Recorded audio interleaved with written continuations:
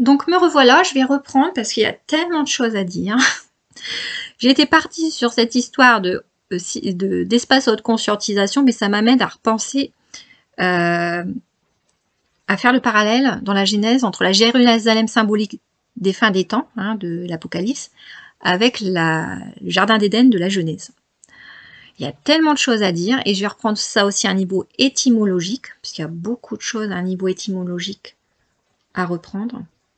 Vous savez, tous les mots sont importants euh, dans ces écrits anciens. Quand je vous avais dit, euh, oui, dans la Bible, dans un premier temps, on dit et l'homme créa euh, la femme et Dieu créa l'homme et la femme à son image, et que vous retrouvez dans l'autre chapitre peu de temps après, et cette fois-ci, l'homme le divin créa l'homme et la femme os de ses os et chair de sa chair, en prenant la côte d'Adam, mais tout ça à niveau étymologique vous permet de mettre en relief ce que la logique des systèmes polarisés met en relief. Euh, mais cette fois-ci, c'est-à-dire que là, l'allusion à la femme unifiée et à un, homme unifié, un Adam aussi, hein, aurait été unifié. Euh, quand on vous parle de prendre la côte de d'Adam et de refermer son corps sans la côte d'Adam, lui aussi est polarisé. Côte, c'est étymologiquement, c'est la partie latérale s'opposant à l'autre moitié on est, dans les deux systèmes polarisés. Alors que Lilith et Adam étaient créés à la base à l'image de Dieu, unifié. Donc dans ce petit, cette petite grammaire où, on voit, euh, mais cette fois-ci, du chapitre d'après, on voit l'allusion à Lilith qui n'est pas, euh, qui euh, n'est pas évoquée, où on voit qu'il y a des passages dans la Bible où il manque des passages. Hein, mais on peut refaire, le, comme je vous dis, ce puzzle et euh, y voir toutes les symboliques très importantes que l'on retrouve dans la logique des systèmes polarisés. Hein. Et ça veut bien dire que ce système divin, d'ailleurs il est dit au départ, eux et l'esprit divin euh, flottaient au-dessus des ténèbres et commença à créer le ciel et la terre. L'esprit divin, c'était pas le corps divin dans la base, il flottait et il a commis sa première erreur d'apprentissage, hein. esprit divin mais expérimentant euh, dans ce monde de matière au travers de ses créations. Le premier erreur qu'il a commis dans son apprentissage, dans sa grande humilité, sa grande amour et sa grande sagesse, comme on dit souvent, il a voulu créer l'homme et la femme à son image, avec humilité, avec amour. Mais dans un monde polarisé, et comme il n'avait pas encore l'expérimentation, Dieu aurait commis cette première erreur, qui n'est pas une erreur, c'est l'apprentissage des mondes polarisés. Son esprit est parfait, c'est quand il expérimente, c'est logique qu'il ait besoin d'apprendre. Et qu'on voit qu'il se réincarnera à la fin des temps au travers du corps de Jésus. Et ça aussi, il faut que je vous en parle. Il y a tellement de choses à, dire. Euh, mais comme je vous dis, hein, moi je reprends la Bible, les noms, les écrits de la Bible, mais vous pouvez mettre à la place de Jésus, Marie, Ève, Adam, euh, les noms que vous voulez. C'est simplement, je prends euh, euh, tous ces textes pour situer les systèmes à plus haute conscientisation par rapport à des systèmes à moins haute conscientisation, pour situer les premiers systèmes polarisés, les premiers systèmes unifiés. Vous voyez, c'est tout un, langage. mais mettez-y les noms que vous voulez. L'essentiel n'est pas là. L'essentiel, c'est de vous mettre en relief comment les écrits anciens parlent de la logique des systèmes polarisés et de ces lois d'équilibre qui expliqueraient la Genèse depuis euh, le commencement. Hein. vraiment, depuis la Genèse, on a vraiment euh, ces lois d'équilibre qui sont exprimées symboliquement dans les écrits. Alors peut-être, hein, euh, peut-être que Marie, Joseph, Jésus ont réellement existé. Moi, je pense que tout ça, si c'est si bien écrit euh, symboliquement, c'est que tout ça, il y, a, de la vérité. Mais la vérité essentielle, on l'a. C'est ça que ce que je veux vous dire, c'est qu'au travers des, noms que vous imitez, la vérité essentielle, elle est là. Donc, pour reprendre,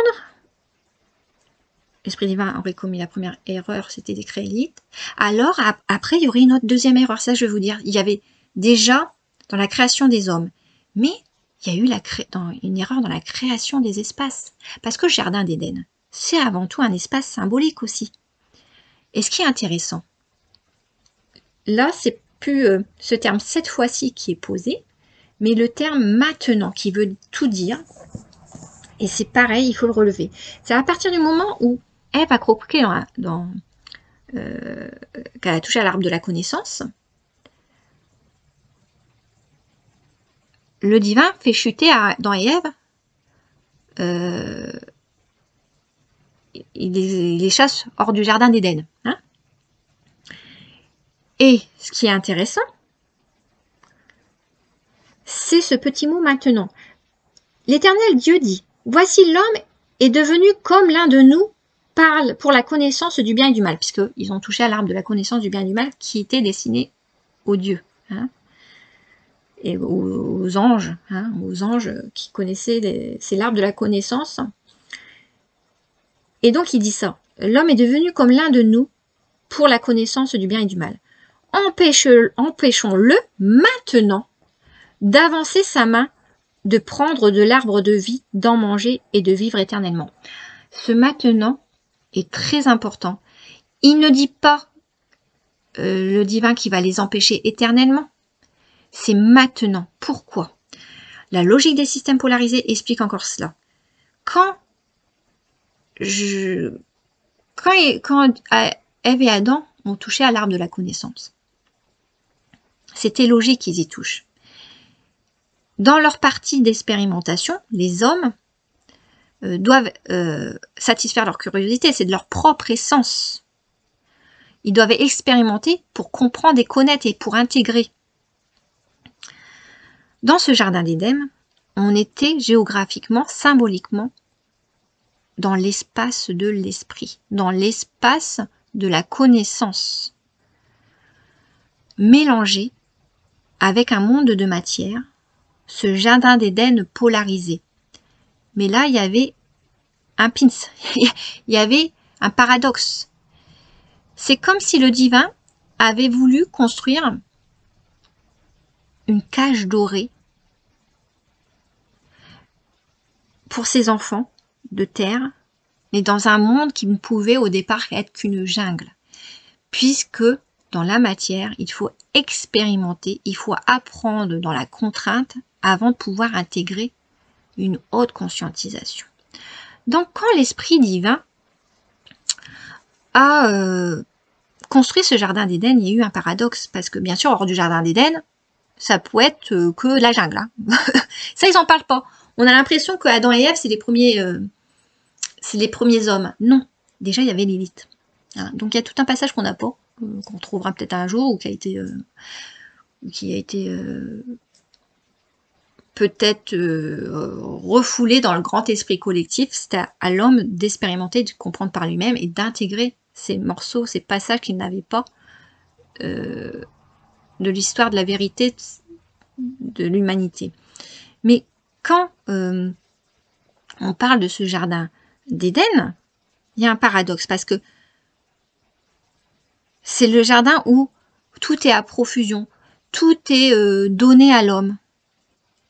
C'est comme si Papa Divin servait sur un plateau d'argent tout à ses enfants et que ses enfants, parce qu'il avait un grand souci de protection, il, il empêchait ses bébés d'explorer le monde, de peur qu'il leur arrive quoi que ce soit.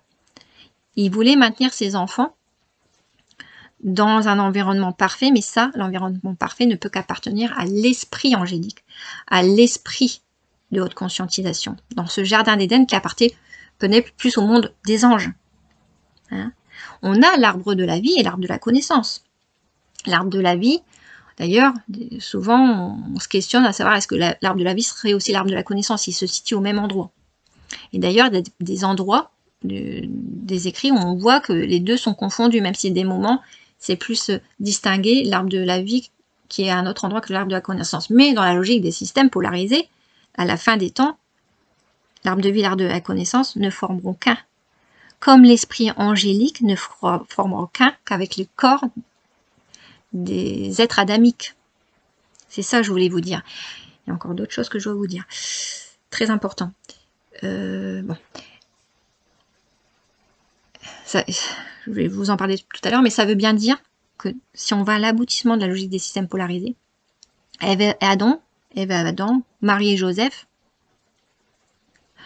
euh, auraient leur esprit angélique. C'est-à-dire que on peut penser que Marie aurait revêtu le corps de Marie, mais qu'elle avait l'esprit, par exemple, de l'archange Gabriel. Et que Joseph avait l'esprit de l'archange Raphaël, par exemple. Et qu'ils ont eu Jésus avec le corps d'un Jésus, mais en aboutissement, cet esprit archangélique de l'archange Michel qui serait l'esprit de Jésus, en aboutissement de sa maturité, serait l'esprit divin qui reviendrait dans le corps de Jésus. Dans la logique des systèmes polarisés, c'est vrai que je m'étends, j'étais partie sur l'arbre de la connaissance, c'est pas grave, mais il y a tellement de choses à dire. Dans la logique des systèmes polarisés, euh, si on va en aboutissement, dans le rééquilibrage total, quand je vous dis où le paradis parfait serait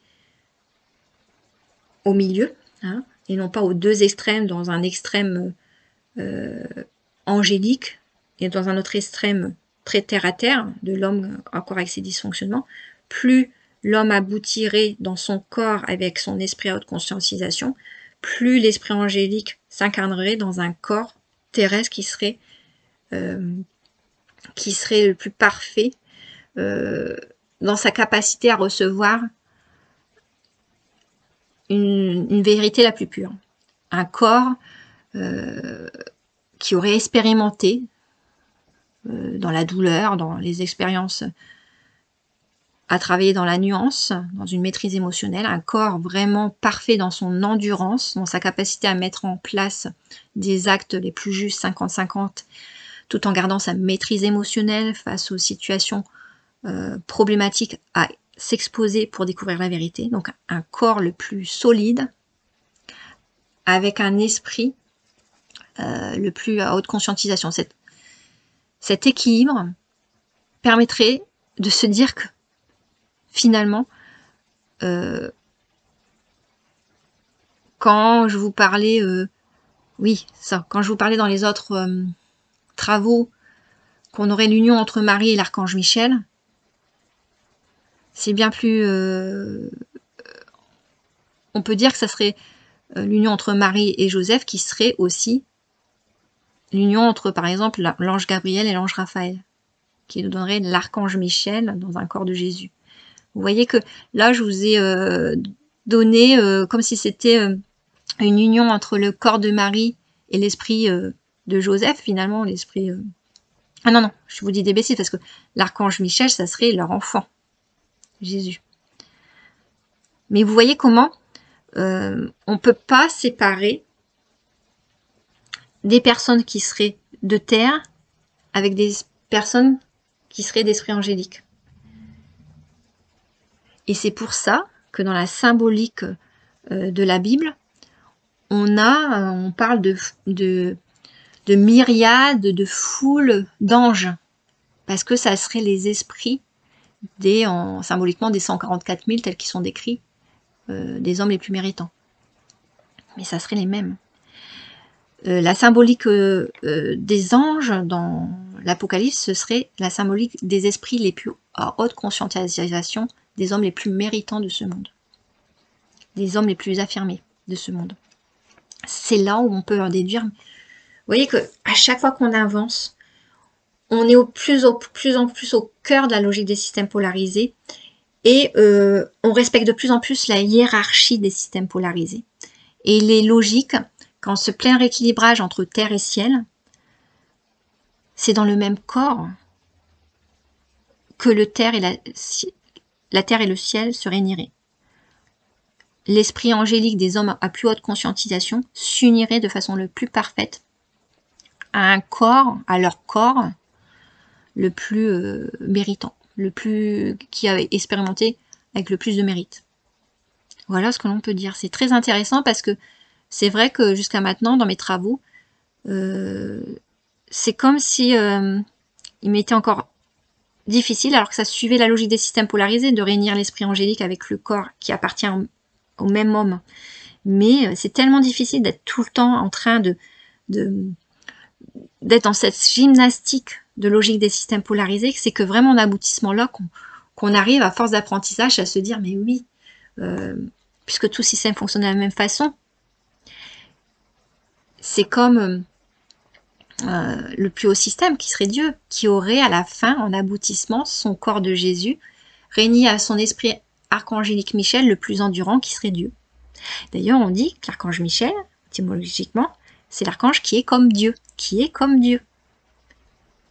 Donc, le trône du divin et de l'agneau, ce serait le trône de l'agneau de Jésus qui a expérimenté, il s'est exposé à toutes ces douleurs, son grand mérite dans son corps, hein, dans ses, expériences, qui a fait que ça a pu, il a pu aboutir à retrouver sa plus haute conscientisation, son esprit divin.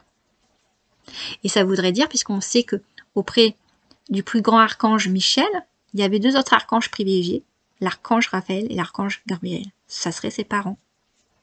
Dans leur esprit, qui seraient les parents Marie et Joseph. Je pense que ça serait Joseph. Puisque comme je vous l'ai souvent dit, Joseph, il aurait été âgé au moment où Marie euh, aurait enfanté. Il avait trop de matériel traumatique, puisque c'était lui dans le, duo des systèmes polarisés qui porte le matériel traumatique lourd, hein, qui représente la partie inconsciente. Il était trop âgé pour enfanter avec Marie. Mais son, euh, son esprit aurait pu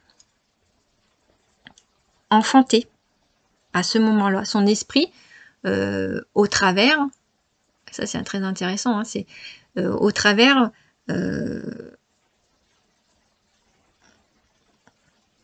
c'est là où je suis en train de réfléchir à la logique des systèmes polarisés, c'est là où on est encore trop dans les codines parce qu'il y avait trop de matériel traumatique, encore dans cette collectivité, et on fonctionnait encore avec des codes unifiés. Et euh,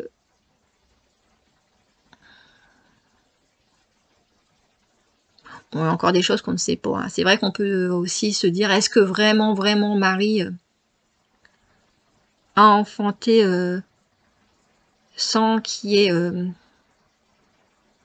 vraiment relation d'intimité concrète?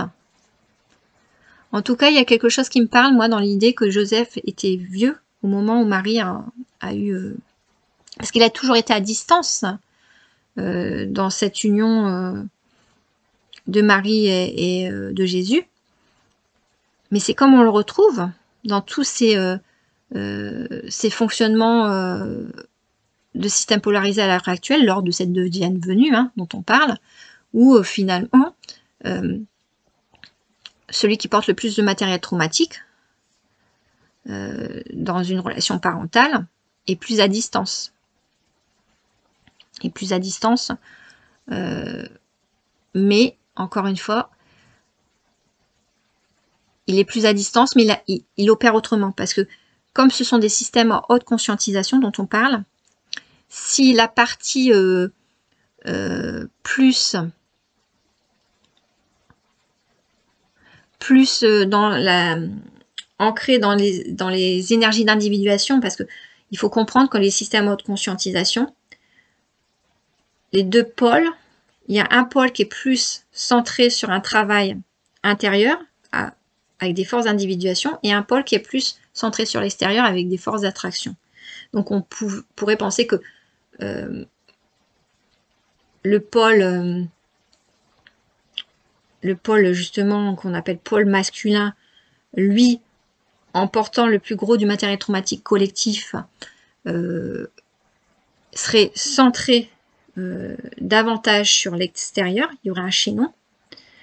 Euh, lui serait davantage centré sur l'extérieur. Le pôle féminin, lui, serait davantage centré sur l'intérieur avec ses énergies d'individuation, mais ces deux polarités complémentaires, énergie d'individuation et d'attraction, ils fonctionneraient de façon complémentaire euh, et euh, tout cela, ça serait euh, pour donner, dans cette parfaite union, pôle d'individuation et pôle d'attraction vraiment complémentaires, ils uniraient, s'uniraient pour donner l'enfant le plus parfait, hein, mais on a le plus haut système conscientisation qui serait Jésus, mais on aurait tous les autres sous-systèmes qui fonctionneraient comme ça.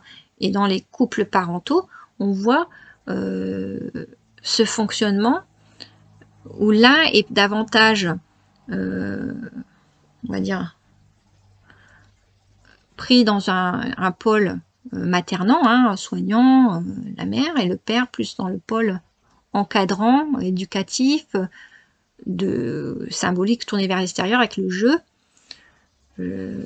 et on a, alors sur les pôles les systèmes à plus haute conscientisation, ça se traduit sur d'autres choses.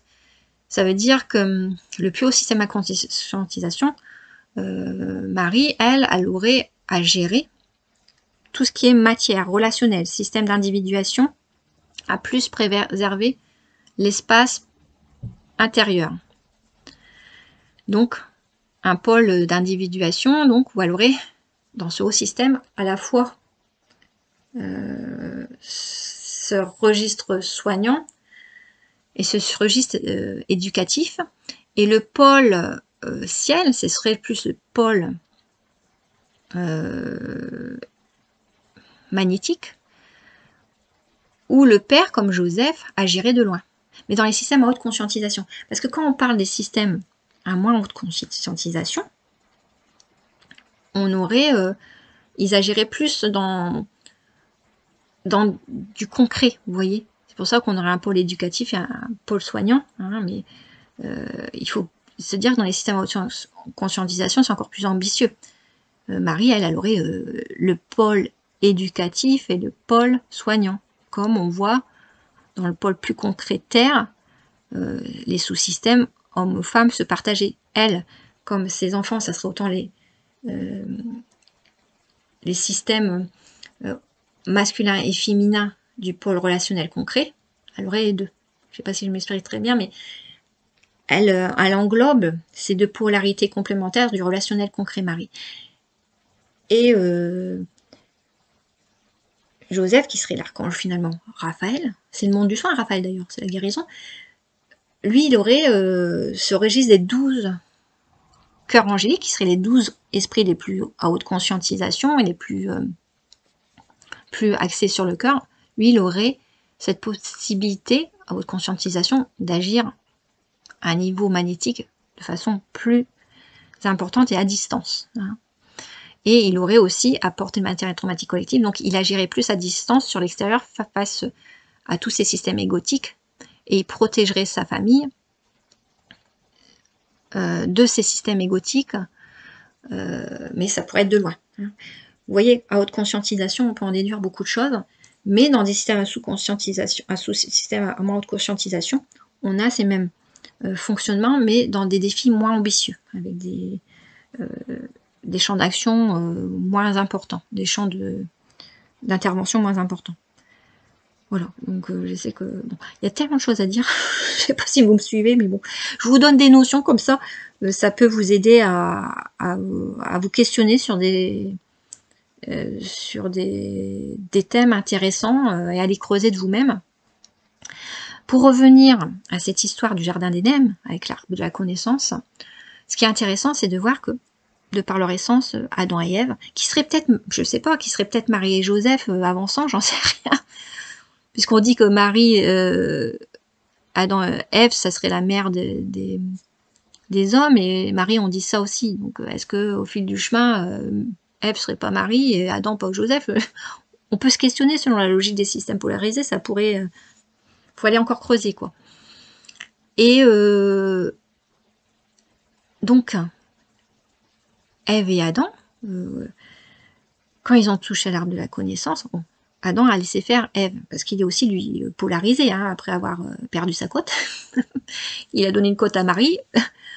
Ils sont pour tous les deux polarisés il a suivi euh, Ève, même si c'est elle qui a été tentée par le serpent. Le serpent qui serait euh, l'esprit lydicien, l'esprit... Euh, et de par leur essence, et dans leur bonne essence, puisque c'est leur fonction d'aller expérimenter pour intégrer les codes de ce monde.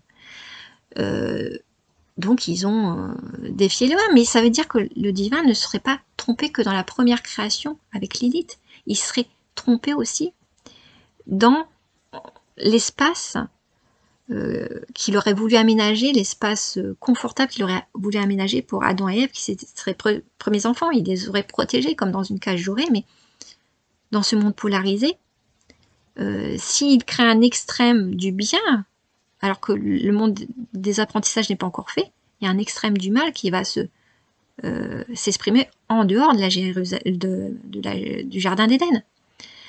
Puisque là, c'est comme tricher finalement.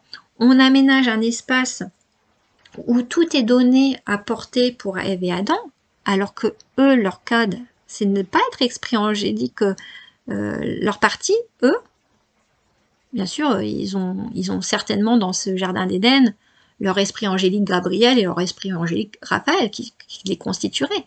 Mais il faut, il faut les porter à maturité, ces esprits-là. Il faut qu'ils expérimentent dans leur corps, leur corps d'Adam et Ève. Donc c'est comme si on avait mis au même endroit euh, l'esprit et le corps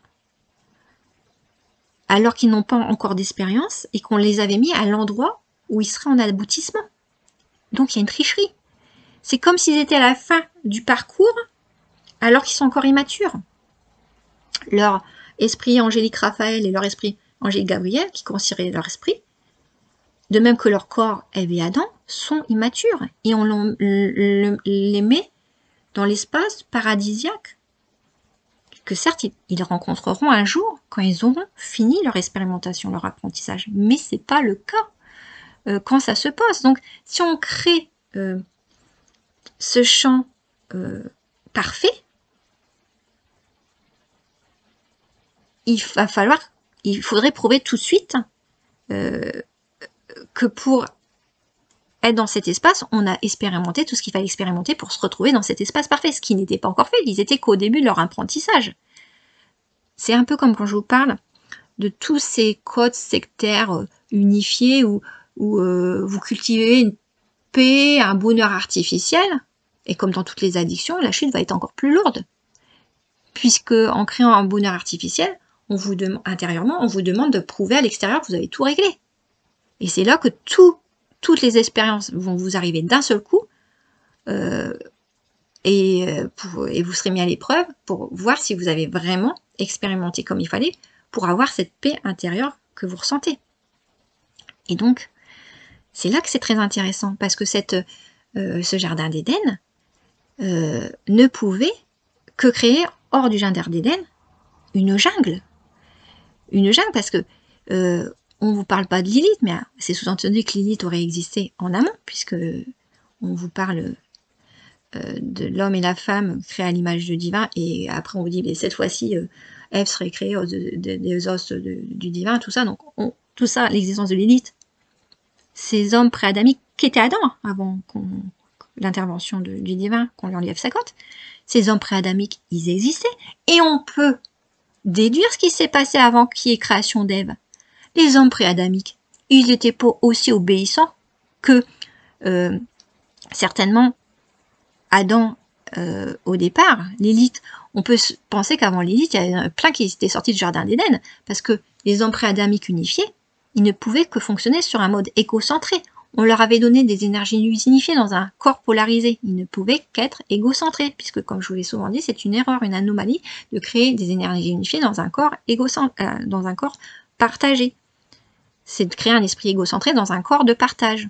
Donc, avant Lilith, il devait y avoir beaucoup de personnes préadamiques qui n'avaient pas accepté, notamment la position de soumission dans la sexualité, telle qui était dit symboliquement, mais c'était tous ces codes où Lilith euh, n'acceptait pas, euh, mais comme Adam, Adam non plus, hein, euh, quand, quand il était unifié, il n'acceptait pas la relation de pouvoir. Donc Lilith ne voulait pas être en dessous d'Adam dans les relations d'intimité. Adam ne se laissait pas faire non plus. Simplement, lui est resté dans le jardin d'Éden et il a accepté. Euh, il a accepté parce que dans son, fonctionnement plus, euh, on peut se dire, le fonctionnement, ça c'est aussi un très intéressant parce que le pôle masculin était plus proche du pôle masculin, des sensines, il était plus proche, il faisait plus le pont avec les sensines du divin, on peut se dire ça que Lilith est un petit peu plus encore euh, dans la partie plus euh, d'individuation. Hein. Le pôle Yang, c'est plus d'individuation. Donc elle était plus individualisée, plus égocentrée que Adam. Mais Adam, il y était quand même. Mais il est resté dans le jardin d'Éden. Il a accepté bah, on ne sait pas si accepté parce qu'il était endormi quand ça s'est fait, je sais pas. en tout cas, il a été polarisé. Et euh, mais ça veut dire qu'avant Lilith et Adam unifiés, il y avait plein, plein d'unifiés qui avaient dû euh, partir du jardin d'Éden parce qu'ils devaient avoir une position égocentrée. Ils avaient dû défier Papa divin bien, bien avant. Bien D'ailleurs, on voit que Lilith, elle va rejoindre euh, des démons, elle s'allie, elle s'unit avec euh, l'esprit satanique pour faire des bébés démons. Hein. Donc on voit bien sûr qu'il y a du monde hors du jardin d'Éden. Et c'est logique. C'est logique parce que c'est tout le monde des apprentissages auxquels l'homme va devoir se soumettre pour arriver à un moment donné à s'équilibrer et trouver le jardin d'Éden parfait. Donc vous voyez, il faut comprendre encore que le jardin d'Éden, c'est un espace symbolique aussi pour exprimer que non, on ne peut pas l'homme, euh, il doit... Euh, il, forge son esprit au travers de l'expérimentation. Si on lui sert tout sur un plateau d'argent, il ne peut pas de lui-même conscientiser, intégrer beaucoup de choses. Et c'est par lui-même qu'il doit apprendre. C'est pas papa divin qui doit euh, lui amener tout sur un plateau d'argent. Parce que qu'est-ce qui se joue? C'est que l'homme, ce corps, parce que l'homme, compliqué tout ce que je raconte, mais ce corps, euh, parce que en fait, je vous ai bien dit que l'esprit angélique, c'était euh, se mettait dans, dans le corps de l'homme. Donc c'est le même que l'ange Raphaël serait dans le corps d'Adam, par exemple. L'ange Gabriel serait, c'est l'esprit Gabriel dans le corps d'Ève. Mais ça veut bien dire quoi? Ça veut dire que euh, l'homme a besoin d'expérimenter par lui-même et c'est lui qui doit accéder à cette haute conscientisation par lui-même, par expérimentation. L'homme ne peut s'épanouir que dans un corps où il pourra expérimenter et être fier de ses apprentissages, être fier d'avoir découvert par lui-même, être fier euh, de, de tout ce qu'il aura appris, de ses compétences.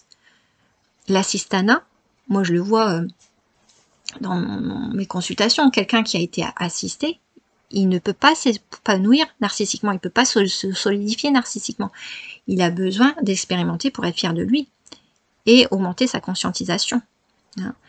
Donc vous voyez, je compare ce qui s'est joué euh, dans le Jardin d'Éden à ce qui peut se jouer quand euh, vous prenez une addiction. Euh, c'est un bonheur artificiel parfait. Certes protecteur sur le moment, mais qui ne peut pas durer. Et la chute est encore plus lourde. Parce que il faut bien aller expérimenter. Donc, à partir du moment, Adam et Ève, n'avaient pas d'autre choix que de toucher l'arbre de la connaissance à un moment donné. Certes, le serpent apparaît comme Valérie égotique, jouant sur les fragilités des hommes les plus purs, notamment le divin, euh, pour en tirer profit. Donc l'erreur du divin, c'est d'avoir mis trop dans un cocon euh, ses enfants, ses premières créations, comme, si vous devenez parent, vous avez un bébé, vous, voulez le protéger. En plus, en tant que parent, euh, c'était son premier enfant, donc euh, Adam et. Donc, on peut comprendre tout ça. C'est la, peur de, soumettre ses enfants à, des apprentissages lourds d'expérimentation, sachant que, bien sûr, on parle d'une humanité, donc euh, les apprentissages étaient encore plus douloureux. On parle d'une histoire qui, a commencé avec des choses bien rudimentaires, notamment des bêtes fantastiques et géantes. C'était pas des hommes préhistoriques, hein, c'est encore une symbolique ça. Il n'y aurait pas autant. Tout est. Toute façon, dans, ce faux de notre univers, euh, dans ce faux, tout a été exagéré pour que l'homme se sente petit. On parlerait simplement de millénaires, on parlerait de, certes de, bêtes inquiétantes, des, bêtes un peu plus effrayantes des premiers temps de l'humanité, mais qui ne montreraient pas des bêtes de la préhistoire, mais ça, encore une fois, interrogez-vous quand on vous parle de comment on peut dater des de milliards d'années, de millions d'années. C'est quoi la preuve démontrable là-dedans? Qui a démontré? Que toutes ces, mesures radioactives pouvaient euh, dater d'aussi loin, puisque personne n'a été jusqu'à là Enfin, je m'étendrai pas, mais il y a un moment donné, il faut se faire confiance et euh, oser euh, comprendre que la, meilleure approche de la vérité, c'est de faire synthèse de toutes les spécialités. D'ailleurs, les consultants que j'ai rencontrés qui ont toujours avancé de plus en plus dans l'affirmation juste, quand elles cheminaient, même au niveau de leur approche soignante, elles avaient cette, ce discours se dire, pour choisir un bon médecin maintenant, je prends un médecin qui euh, n'hésite pas à travailler en équipe avec toutes les spécialités. parce que c'est clair. Plus vous faites synthèse dans différentes spécialités, moins vous êtes dans le détail, et plus vous faites synthèse, plus vous accédez à une bonne approche de prise en charge. c'est encore... Il y, a, toujours euh, à comprendre vraiment... Euh, c'est vrai que je fais pas mal de digressions, je suis désolée, mais c'est pour vous dire tout, on se ramène toujours, on se ramène toujours aux mêmes choses, à la même synthèse qu'on peut déduire. Et pour revenir à ce jardin d'Éden, il est logique euh, que quand ils ont euh, goûté à l'arbre de la connaissance, d'ailleurs, ils, ont pris conscience qu'ils étaient nus, Adam et Ève. Ça veut dire quoi symboliquement? Ils ont pris conscience qu'ils ne savaient rien. Certes, ils ont touché à l'arbre de la connaissance, ils ont accédé à la vérité tout de suite, mais de façon théorique. Donc c'est un sacré, euh, c'est un sacré, ça, ça, bouscule des esprits quand même. Vous, vous accédez à, à tout sans expérimentation, ça de quoi devenir euh, un petit peu euh, dissocié quand même. vous accédez à toute la vérité, mais vous l'avez pas expérimenté, donc pas bien intégré. Donc ils ont été, ils ne pouvaient être que déboussolés, ils se sont trouvés nus. C'est-à-dire qu'ils ont découvert qu'ils ne savaient rien. il y a un paradoxe, parce qu'on vient de savoir juste avant qu'ils avaient accédé à tout, la connaissance du bien du mal, donc de la vérité. Mais à côté, le paradoxe qu'on vous donne, c'est qu'ils sont nus, qu'ils savent rien. Donc dans ce, déséquilibre total, ils sont obligés, le divin est obligé de les mettre hors du jardin des pour qu'ils expérimentent. Mais quand ils disent, quand le divin dit, à un moment donné, euh, voici l'homme est devenu comme l'un de nous pour la connaissance du bien et du mal. Empêchons-le maintenant de toucher, euh, d'avancer, de toucher l'arbre de vie. L'arbre de vie, euh, oui, sinon il va mourir. Il y a un moment donné, il y aura accès Maintenant, ça veut dire qu'il n'y a pas accès tout de suite, mais il y aura accès à l'arbre de vie une fois qu'il aura tout expérimenté.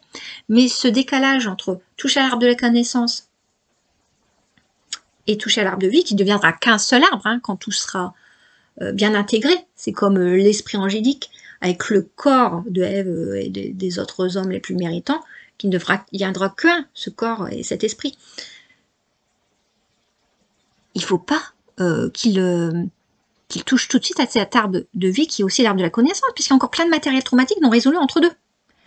Il a accès à la vérité sans avoir expérimenté. Donc ça crée beaucoup de matériel traumatique à résorber. Il y a plein d'expositions euh, aux peurs avant à faire.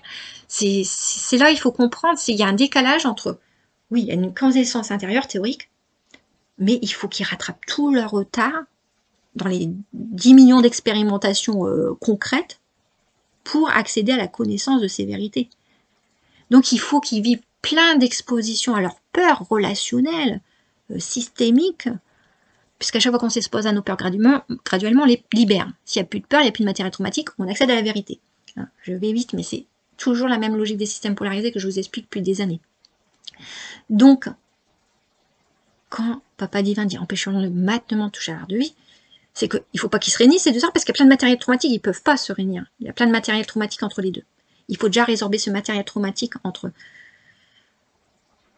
cet euh, accès à la connaissance théorique et cet accès à la connaissance par l'expérimentation. Et plus ils vont expérimenter, les humains les plus méritants, plus le matériel traumatique va se résorber et plus ils vont comprendre ce qu'ils ont appris théoriquement.